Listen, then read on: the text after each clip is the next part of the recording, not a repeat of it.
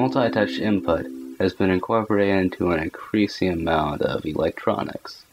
However, large multi-touch displays still remain fairly expensive. So with this project, we're going to build our own multi-touch display that can run on any operating system and reuses some pre-existing materials. The concept behind this project is rather simple. In the design, we have a flat sheet of acrylic with infrared LEDs on two opposite edges.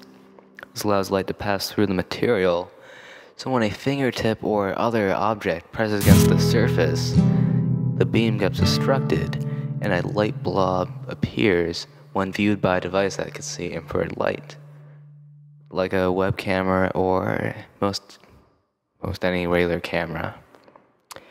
These light blobs can then be sent into a computer by the web camera and then identified as an input source through the appropriate software.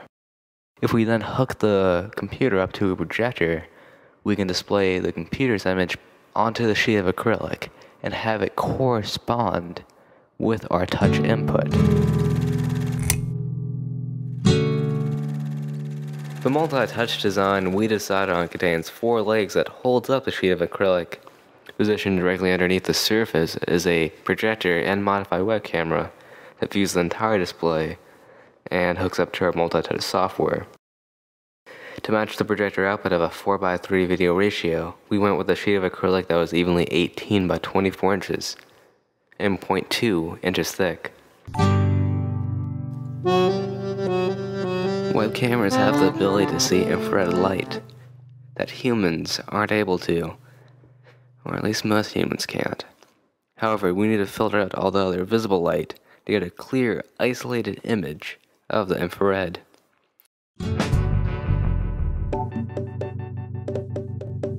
To do this, we need to disassemble the web camera, locate the infrared filter, which will be attached to the camera's lens and have a slight reddish or greenish tint to it.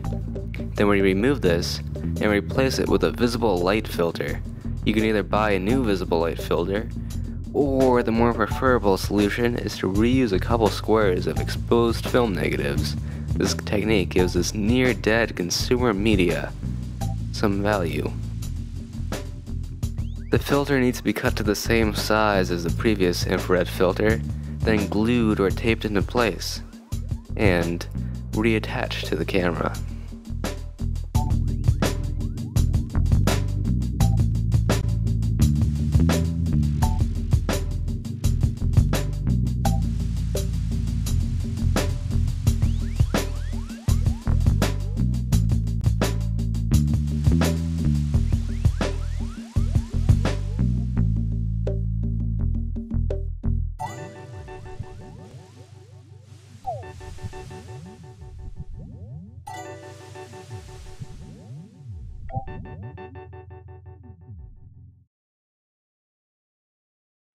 Now with our web camera infrared ready, we can move on to the frame of the multi-touch table. The frame can be made using a variety of materials depending on what you already have. Wood, bamboo, cardboard? Uh, well, maybe, uh, probably not. Well, what we had were these 24 inch L-shaped aluminum pieces that should help make a pretty strong frame. For one of these sides, we need to start out by sawing one of these 24 inch pieces in half. Will match the 18 inch acrylic edge later on.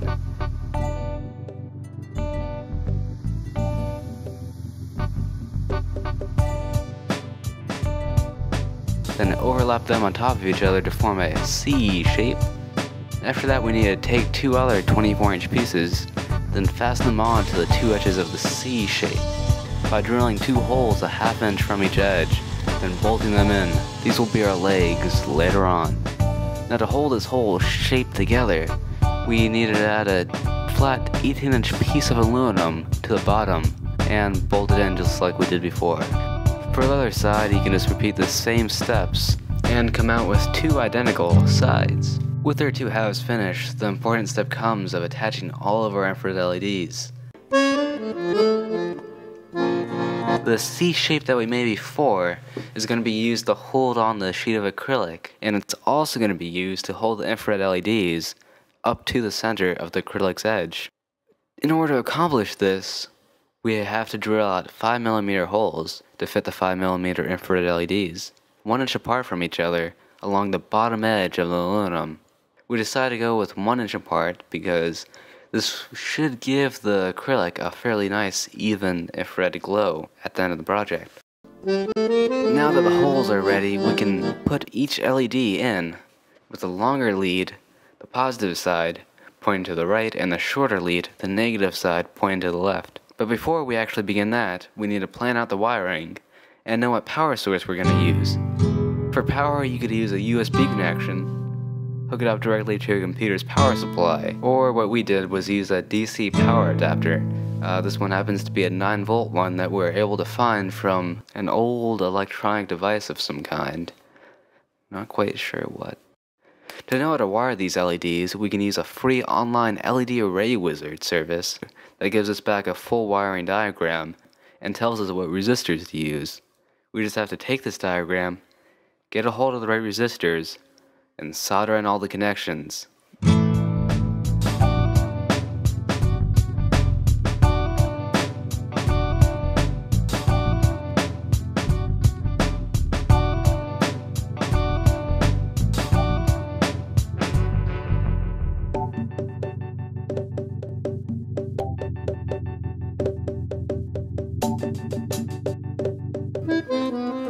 Attach our sheet of acrylic, we had to drill two holes on both the acrylic and the aluminum C-shaped pieces, then bolt them together. The table should now be able to stand on its own. At this point, you could also remove the protective coating that comes with a sheet of acrylic.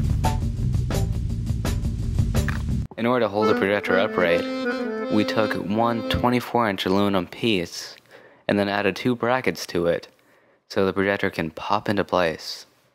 Then we bolted this piece to the bottom of our frame. With the modified web camera, we used a small piece of string to tie it onto one of the aluminum legs.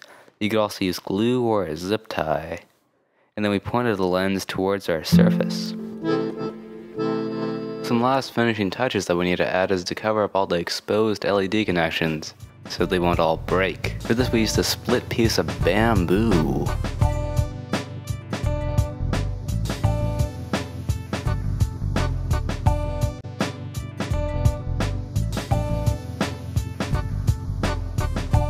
Then we heat shrink the connection between the power adapter and the LEDs for the same reason.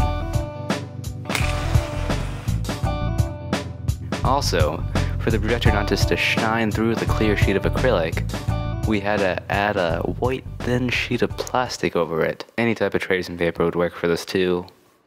Now we're at the most exciting part, testing out our table. At least I think it's the most exciting part. Well, now I have very low standards. Well, anyway, we have to plug in everything and see if it all works.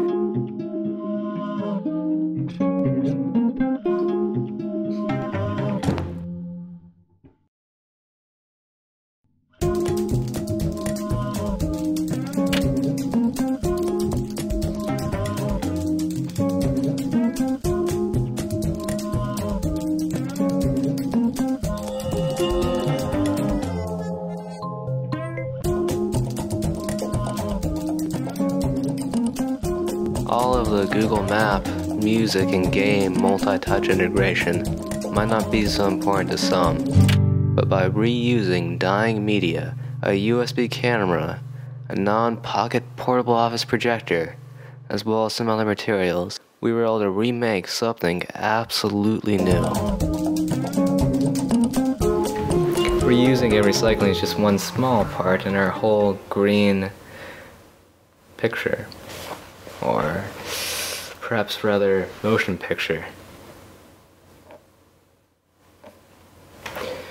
Any, uh, all these different projects that we do do tend to help explore different concepts, step by step, project by project, frame by frame.